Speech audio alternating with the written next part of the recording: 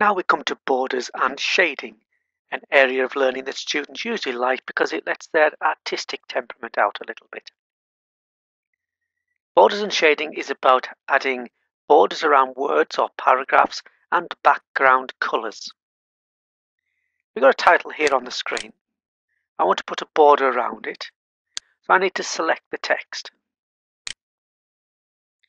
We then choose from the menu, Format, and drop down to Borders and Shading.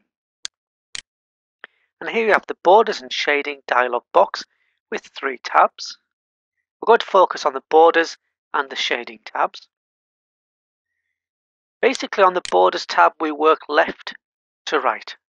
So we choose our basic style of border. I'm going to choose box. We then come across to the middle section and choose the style that we want to use, the style of line that we want to work with. It's quite a variety there. I'm going to choose this one. Once you've chosen that, you can see there's a blue line around the outside. So you can see that's the one that you've chosen. But you can always go back and modify these at any time. Once you've chosen your line style, we then choose the line color. Again, you can get more colors there that we looked at earlier when we're working with font colors. It works in exactly the same way. I'm just going to keep it simple. And then we can use the width, otherwise known as the thickness of the line. But Microsoft do like to call it the width of the line. And you can just choose from the drop down the thickness that you'd like that line to be. All these changes are previewed in the preview window. So as you make changes, you can see what it's going to look like. Once you've made those changes, we then come to the third step, which is what do we apply the, text, the border to? You can see it's picked up text. That's because I selected some words. If I click the drop down, you'll notice that I can also select paragraph. I'll show you the difference between those two as we go through the video. I'm going to keep it on text and then we click OK. Those settings are then applied to my text. But it's not red, I hear you shout. No, because if you remember, the text is selected, which inverts the colours.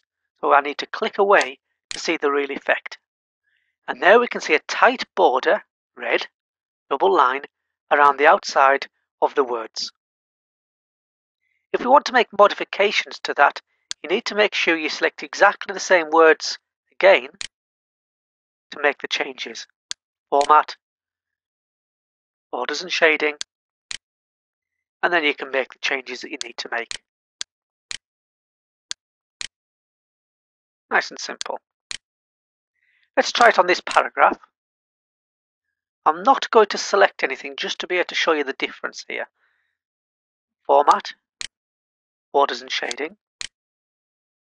On the Borders tab, choose your basic style. That's your first step. Second step is choose your line style and your colours and finally the thickness. Once you've selected those, you go on to the third step, which is making sure that you are applying this to what you want to apply it to. See, we've got paragraph selected there. That's because I didn't actually select any text, so there's no confusion. It will be around the paragraph.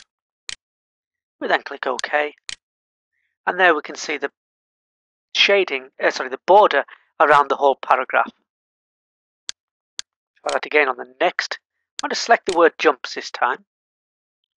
Format, borders and shading. Choose your basic style. I'm going to put a shadow on this time. Choose your line style that you like the look of. Colours, thicknesses. Make all those settings. Now, apply to. I've now got a choice because I've selected some text. If I select text, and OK, it applies it around just the text. Select that again. If, however,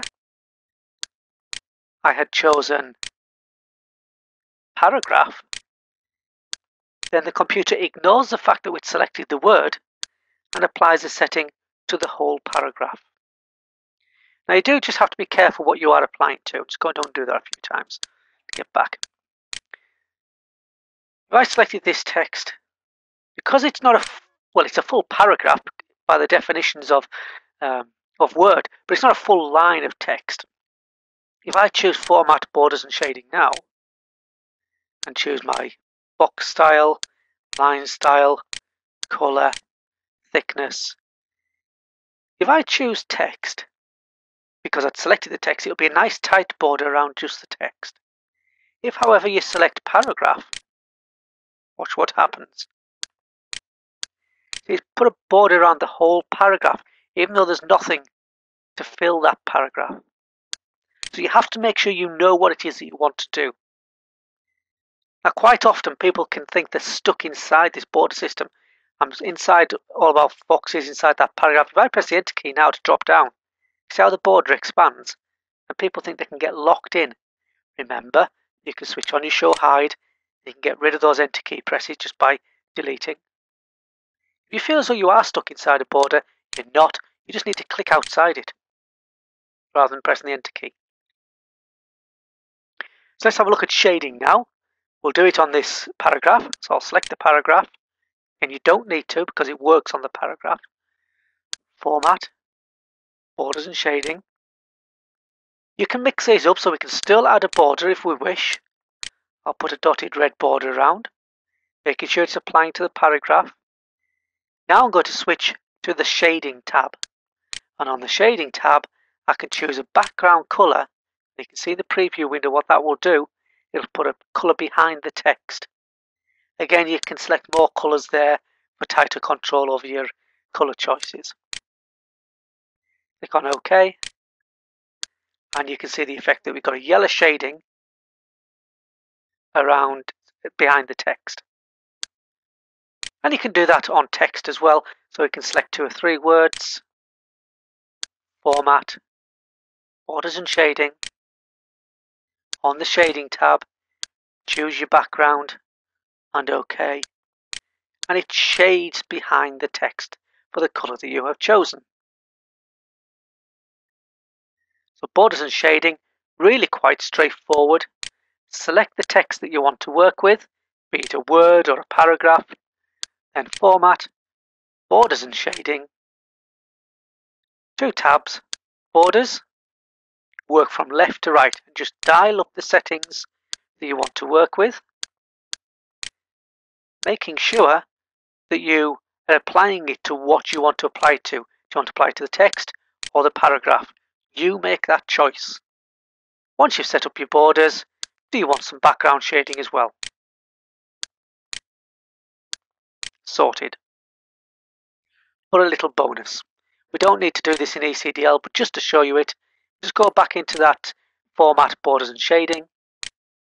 This time we'll look at the Central tab, Page Border, works in exactly the way as normal borders, but it'll go around the outside of the whole page. So you can choose a border style, style of line that you want, colors that you want, the width that you want, and OK. And notice now that we're applying it to the whole document, and OK. And that applied to the whole document. You can see it running around the outside. A word of warning though, when you're using those, you can find conflicts with your printers and you can lose some of those lines. So it can take a little bit of fiddling about depending on what kind of printer you are using. So that was format, borders and shading, page borders, dial up your settings. Added bonus number two, art. You can choose, instead of lines, word art. I'll just move that up so we can see it a little bit easier.